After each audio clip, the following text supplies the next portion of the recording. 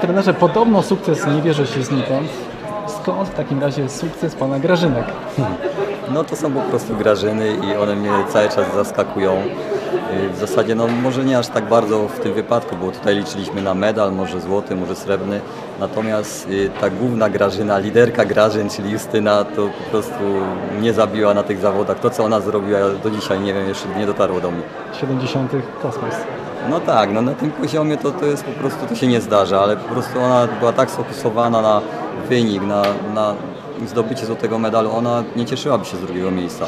Przypuszczam, że jakby trzeba było jeszcze szybciej pobiec, ona by to zrobiła. Jak poczuje krew na ostatnich metrach, widzi, że ktoś słabnie, a ma taką końcówkę, jeszcze nie widziałem, żeby ona przegrała końcówkę tak naprawdę, więc ja w zasadzie tak do końca wierzyłem, że ona to, to wygra, zdobędzie i zostanie Grażyną 400 metrów w Polsce.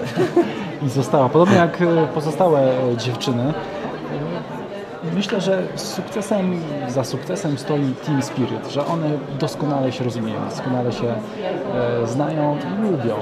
Zgadza się, no ja też je doskonale znam. Od 10 lat w zasadzie pracujemy razem, rośliśmy razem z wynikami, rozwijaliśmy się po szczeblach kariery, pierliśmy się i lubimy spędzać ze sobą czas. Ja może nie we wszystkim uczestniczę, natomiast one zapraszają się na wesela, chodzą gdzieś tam po sezonie na imprezy razem, także w czasie obozu spędzają y, czas w niedzielę, jak nie mamy treningu, także naprawdę wzajemnie się nakręcają ufamy sobie, wierzymy w siebie.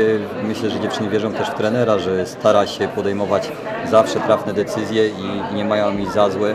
Fajnie przyjmują te decyzje, bo one są ciężkie, tak? Każdy chce biegać w finale, każdy chce y, robić rundę honorową z flagą, ale no niestety są tylko cztery miejsca i, zawsze to jest takie dla mnie ciężkie, a dla nich też, ale myślę, że to rozumieją. Rozumiem, że czasem trenera zapraszają na te imprezy. No tak, byłem zaproszony na wesele do Justyny, a byłem na ślubie tylko, ponieważ y, miałem zabieg lekarski, natomiast no, niejednokrotnie zdarzało nam się, zwłaszcza świętować po zdobyciu medalu, a tych medali jest wiele, także no, przynajmniej 2-3 razy w roku się gdzieś tam razem bawimy przy lampce szampana.